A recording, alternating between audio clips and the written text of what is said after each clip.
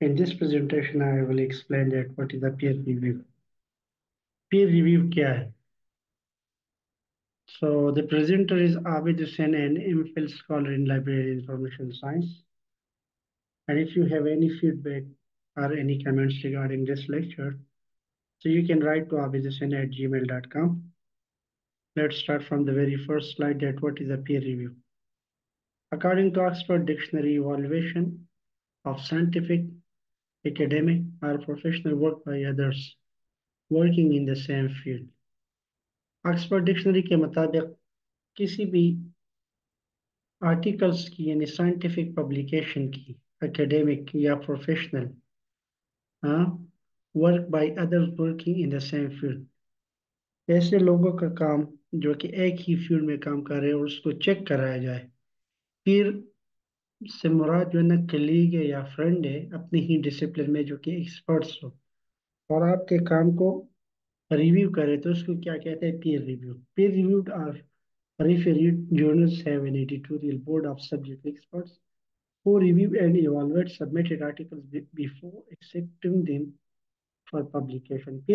है?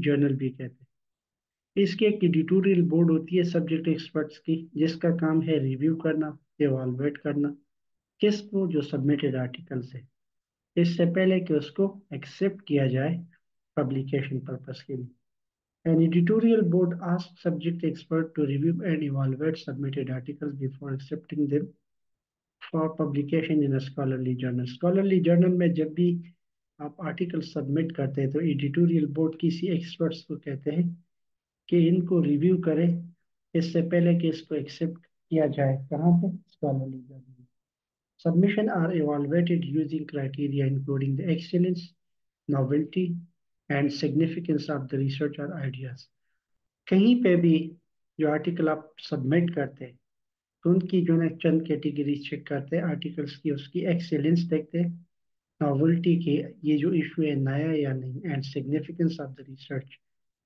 ये जो रिसर्च आप सबमिट कर रहे हैं, क्या इसकी कोई सिग्निफिकेंस इम्पैक्ट है? जिनके लिए आप लिख रहे हैं और आइडियाज़ क्या नया आइडियाज़ इसमें जनरेट हुआ या नहीं? Scholarly journals use this process to protect and maintain the quality of material they publish. Scholarly journal का काम क्या है? इन्हीं चीज़ों को प्रोसेस क्यों करते हैं?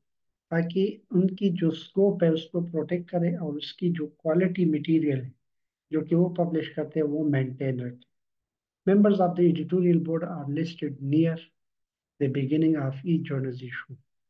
हर journals की एडिटोरियल बोर्ड मेंबर होते हैं और उसको लिस्ट में रखा गया हुआ होता है। जो भी जर्नल इशू पब्लिश होती है तो कंसर्न जो बोर्ड ऑफ़ रिव्यूअर्स होते हैं, उसी को आर्टिकल भेजा जाता है, ताकि इसको रिव्यू प्रोसेस से गुजार दिया जाए। अब आ जाते हैं types of peer review peer review के कितने टाइप्स है? There are four types of peer review journals एक single anonymized review single anonymous review क्या है? वो reviewers, in this type of review, the names of the reviewers are heading from the authors. जो author paper submit कर रहे किसको जा रहा है? ये जो है ना आथर्स यहाँ पे उनको नहीं पता कि मेरा रिव्यू किसको जा रहा है। कि इसको पब्लिश करने से पहले। This is the traditional method of reviewing and is the most common type of review ये सबसे पुराना तरीका है कि जो भी आतर पब्लिश कर रहे हैं, वो भी एनोनिमसली भेजते फ़ाइल और जिसके पास जाते हैं, उनको भी नहीं पता कि इसका आतर कौन है, कहीं इनके जानने वाले तो नहीं। Reviewer anonymity allows for impartial decision. The reviewer should not be influenced by the authors. इसका मतलब ये है कि जो लोग सबमिट करें उसने अपने आतर का नाम शिवराज में रखा। और जिनके पास जा रहे हैं वो भी जो ना शिवराज में रखा गया इनके रिव्यूअर कौन है ताकि मेरिट को पामाल ना करे। Authors may be concerned that reviews in their fields could delay publication, giving the reviewers a chance to publish first.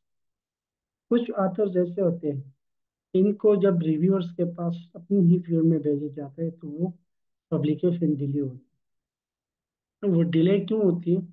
ताकि रिव्यूअर्स को एक चांस दिया जाए, ताकि उसको पहले पब्लिश करने से पहले थॉरली चेक करें। Reviewers may use their anonymity as justification for being unnecessarily critical और harsh when commenting on the author's work जब भी कोई ऑथर्स आर्टिकल सबमिट करते हैं एनोनिमिटी में तो वो रिव्यूअर्स उसको चेक करते हैं। और फिर कमेंट्स कर दिए जाते हैं। रिव्यूअर वन लिखा हुआ होता है रिव्यूअर टू लिखा हुआ होता है या रिव्यूअर थ्री लिखे इस तरह के आर्टिकल नंबर को अलग अलग एडिटोरियल बोर्ड को हैंड ओवर किए जाते हैं। ऐसा पीर रिव्यू में जो डबल एनोनमाइज एनोनिमस रिव्यू ये कौन होते हैं? Both the reviewers and author are anonymous in this model some advantages of this model are listed below. Author anonymity limits reviewers bias for example based on an author's gender country of origin academic status or previously publication history. Article written by prestigious or renowned authors are considered on the basis of the contents of their paper rather than their reputation. अच्छा यहाँ पे double इनोनिमिटी इसीलिए करते हैं कि आपने जो एक आर्टिकल है दो लोगों के ऐसे लोगों के पास जा रहे हैं जो कि इनकी उसी फ़ील्ड में शोहरत होती है। उनकी कंट्री ऑफ़ ओरिजिन आपको पता होती है एकेडमिक स्टेटस का पता किया हुआ होता है, या प्रीवियस पब्लिकेशन हिस्ट्री होती है, तब इनके पास जाता होता है। अच्छा ये, इससे ये भी अंदाज़ा लगाया जाता है, जो रिव्यूअर बोर्ड होती है, कि ये जो आर्टिकल्स एक बंदे ने लिखा है, इसको चेक करते हैं कंटेंट्स के मुताबिक क्या इसके पेपर में वर्थ है या नहीं। इससे पहले को देखें। डबल रिव्यूअर्स के पास अब आ जाते हैं triple anonymized review anonymous review क्या होती है triple with triple anonymous review reviewers are anonymous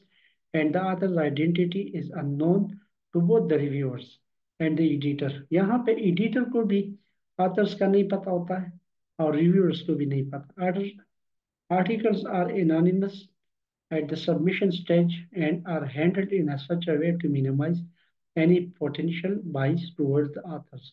However, it should be noted that the complexities involved in anonymizing article authors to this level are considerable.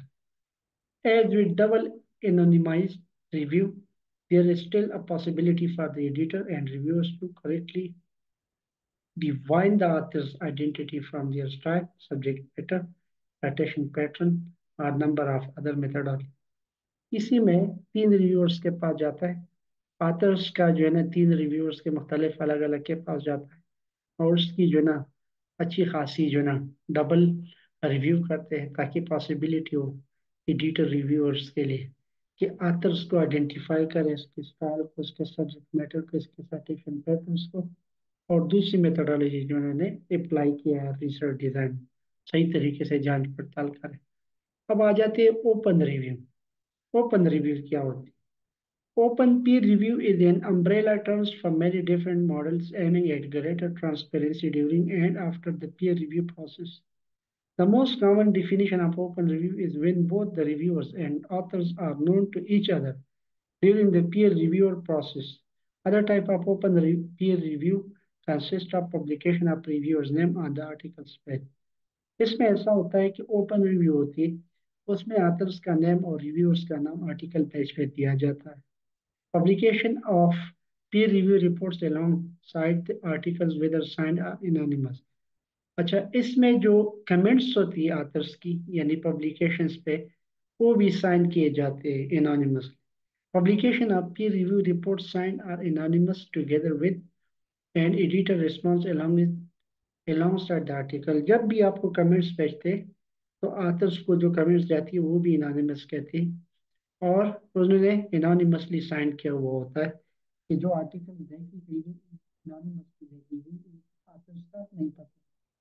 Publication of the paper the quick and opening in a discussion forum to the community who can comment named or जो भी reviewer होते हैं publication को thoroughly check करते हैं और फिर discussion के लिए ओपन फॉर्म में रखा जाता है, ताकि कम्युनिटी से कोई भी इस पर अपना कमेंट्स डालना चाहते हैं और उसके नाम को और इनोनिमिटी को भी ज़ाहिर किया जाए ये किसने कराया और कैसे कराया। सिर्फ़ एडिटोरियल बोर्ड को पता लग जाता फिर रिव्यू से मुराद इन शॉर्ट वो रिव्यूइंग प्रोसेस है, जब आप आर्टिकल सबमिट करते हैं तो वो रिव्यूअर से गुजरती है। तो उसमें सिंगल आथर डबल आथर और ट्रिपल आथर्स और एक ओपन रिव्यू होती। तो आथर्स जब आर्टिकल को सबमिट करते हैं तो ये एडिटोरियल बोर्ड को हैंड ओवर किया जाता है कि इसको आप रिव्यू करें, इसको आप रिव्यू करें, आपकी एक्सपर्टीज तो जो एक्सपर्ट्स प्रोसेस से एक आर्टिकल गुजर जाती है, तब जाके वो क्वालिटी कंटेंट्स प्रोड्यूस हो जाती है और एक अच्छा पब्लिकेशन बन जाता है। तो मुझे उम्मीद है आज की लेक्चर आपको पसंद आई होगी। अगर आपको पसंद आएगी यकीन आप इस चैनल को सब्सक्राइब भी करें और दूसरों के साथ शेयर भी करें असल वरहमल वर्क